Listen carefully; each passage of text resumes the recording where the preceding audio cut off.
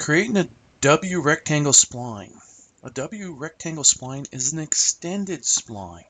To find that, we're going to have to come up into our command panel. We're going to go to Create.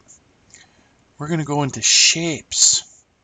We're going to hit the drop down menu down to Extended Splines.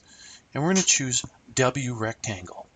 When I click on that, it'll ask me for a corner. I'll pick and I'll drag and I'll pick the other corner. I let go of my left mouse button and now it'll ask me for my my second uh, rectangle and I pick. Let's come over here into my rollout.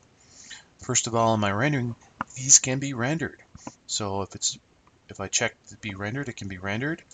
If I have it enabled in the viewport, and then I can see it as a radial, such as tubing, or as a rectangular type shape.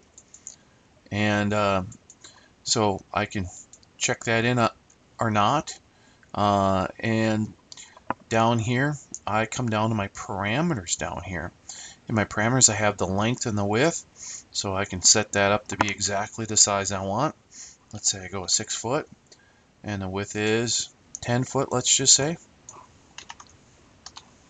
And my thickness, right, uh, my thickness right now is 8 inches. Let me go down to 6 inches. Right. And so, let me see here. There we go. And now I'm syncing the corners. All four corners are the same. And I have in corner one radius, I'm going to go and set that to one foot. Hopefully we can see that well. There we go. You can see that they're a radius of one foot. If I uncheck the sync corner, now I can change the radius to, let's say it's three feet, let's say. And now they're not in sync.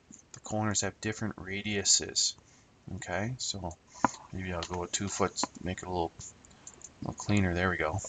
So now you can see we have two different radiuses in here. So if I sync it, right, I come out and they're both the same radius then. I have the edge creation method. I can go, right now it was edge, which is corner to corner essentially, or I could go with a center. All right, so I'm going to right click and I'll throw one more in here then. I'll go with the W rectangle and I'm going to go with the center method.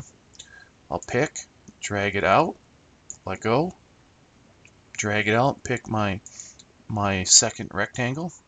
I can come down into my parameters I can set my exact sizes now. Four foot, for example. And it's supposed to be six foot. And my thicknesses, I really wanted six inches. And I do not have any rounded corners in this one.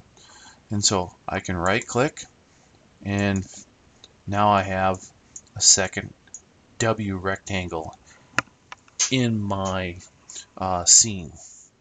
And again, to get to my W rectangles, I'm going to go up to my command panel, go to create. I'll go to shapes, go to extended splines in the drop down menu, and I go to W rectangle.